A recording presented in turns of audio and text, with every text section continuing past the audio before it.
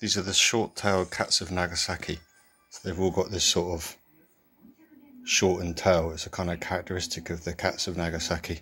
This one's a temple temple cat. It's got a collar. But there's a lot of wild cats called Noda They come down from the mountain.